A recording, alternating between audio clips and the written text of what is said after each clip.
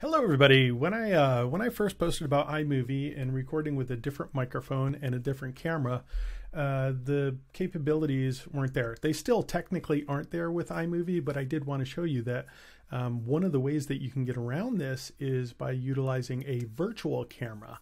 Uh, the one, the platform that I use that I absolutely love uh, is called Ecamm Live, uh, and I will put that link in the notes for you. But uh, basically, with Ecamm, I can go ahead and I can uh, with I can set up my picture and you can see that over here on the right hand side.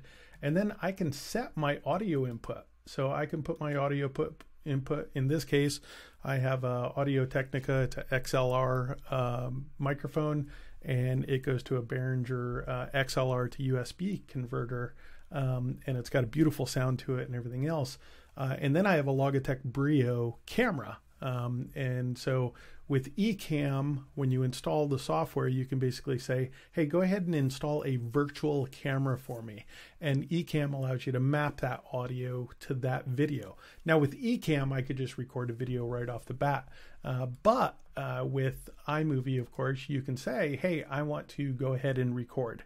And so I can go ahead and I can say, here's my Ecamm Live virtual camera. And I can press record and now I'm recording on this video. Uh, and uh, after I'm done, I can go ahead and stop it. Uh, and you'll see uh, that now I have, uh, I'm going to go ahead and close this. Now I have that clip and I have that audio for that clip and everything's working fine.